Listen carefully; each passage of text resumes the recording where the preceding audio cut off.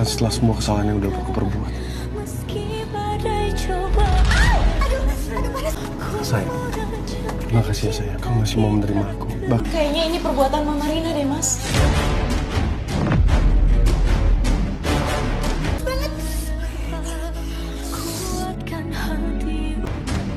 Pak Erik juga pernah jadi selingkuhannya Bu Alia, Bu. Rahasia apa sebenarnya yang diomongin Alia sama orang yang ditelepon itu? Saya juga mau lepas dari semua kebohongan ini.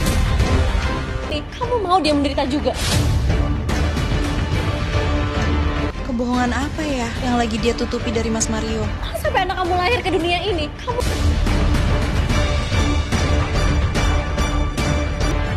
dia itu bahaya buat hubungan kita. Kamu jangan berhubungan lagi sama dia. Dan tentunya pasti makin penasaran kan dengan kelanjutan tertawan hati pada hari Sabtu tanggal 23 Maret 2024 hari ini. Dan kalian bisa lihat ya nampaknya sekarang ini Mario begitu bahagia akhirnya dia bisa kembali lagi dengan Alia.